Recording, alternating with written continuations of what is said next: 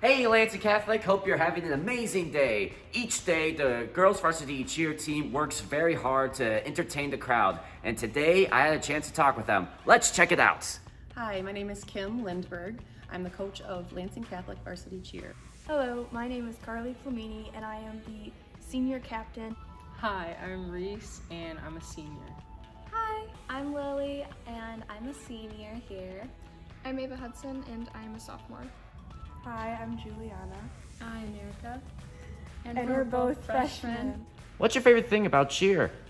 I love cheer. I did cheer when I was in high school and did competitive and sideline and I'm doing the same as a coach here and I love watching kids progress and helping them develop skills.